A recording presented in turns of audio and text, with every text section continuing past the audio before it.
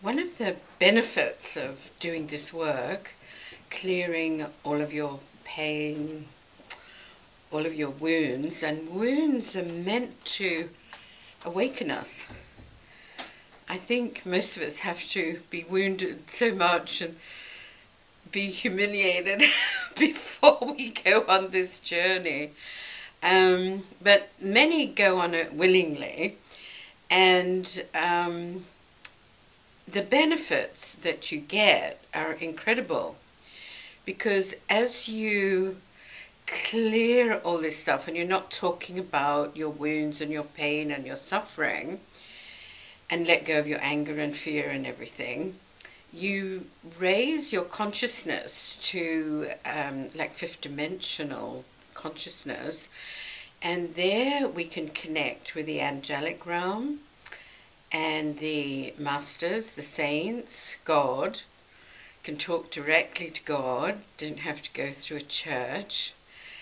And also, you can connect with um, people on different planets, like the Arcturians, who they're very amazing healers, and uh, from the Palladians, they're amazing uh, with heart opening.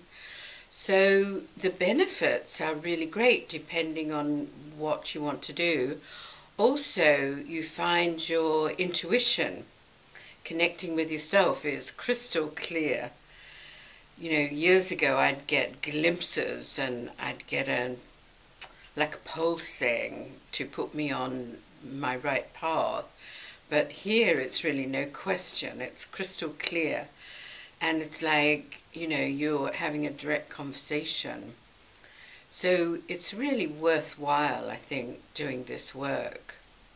Most of us are living in a three-dimensional world in that most people have their hearts closed and are talking about love but not living in love.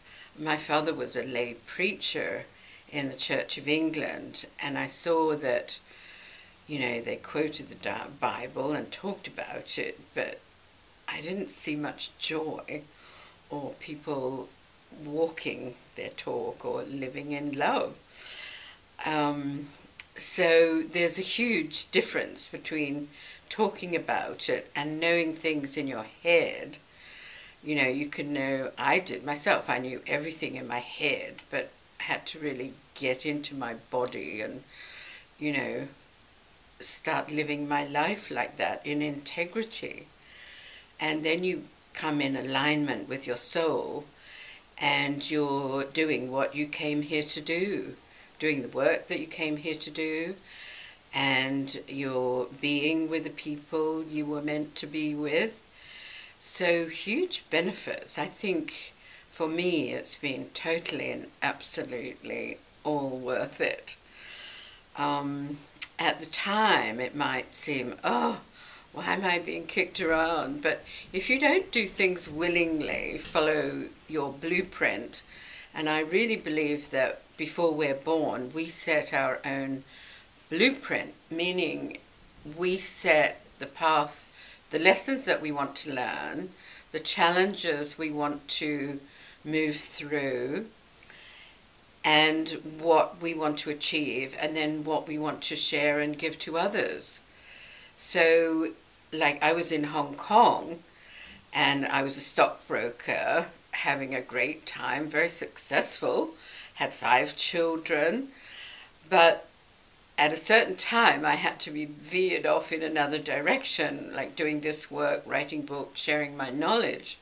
So if you don't do it willingly, spirit comes in and kicks you. it was at that stage my oldest son was starting to take drugs, and I thought, what's the use of making all this money if my son dies? So there was a radical shift in values for me. And so if we don't listen to our soul or our angels, our guardian angels, whatever you want to call it, you will create a situation. I've known people who, on the same day, have lost their job and then their husband or wife were going to divorce them. So it really set them off in a new direction. So it's really key to really be listening to your own inner guidance and females and um, men that run female energy have a lot of intuition and they follow it. And um, it's very beneficial. So i would say tune into your inner guidance and really don't listen to anything i've got to say or anyone says. Tune into your own guidance and what your guidance is telling you. And this spiritual path, I mean, you don't have to rush off and sit at the foot of a guru in India or go on really massive retreats. It's really doing your own work and realizing that it's so beneficial. So I would encourage you to willingly go on this journey. You know, just start tuning into your body. But even if it's just for your health, I mean, if there's a pain in your body, it's telling you something, you know, something that you need to pay attention to. So our body is really our inner guidance system. But the benefits from the Arcturians, they have some really valuable information on consciousness. They're very, very highly advanced race. And um, they have amazing information on heart opening, on the soul level, bringing in your light, shining your light. Because the more you let go of all this pain and suffering and fear, it's mainly fear, then the more this light or universal intelligence or unified field of consciousness, the source, you know, whatever you like to call it, religions aside, it's this amazing energy that comes in, just flooding you and your cells with love. So everything can flow very freely and any blockages that might be in the way. If you see it like a river, you know, you're flowing in the river and, you know, you're going around twists and bends, but if you see uh, blockages or have challenges, you know, you would deal it, or if you're canoeing or whitewater rafting. So it's like that, the journey's like that. There's twists and turns, but just go with the flow and all roads lead to love and connecting to our source because we've forgotten who we are. We think we're separate and alone, and it's not that at all.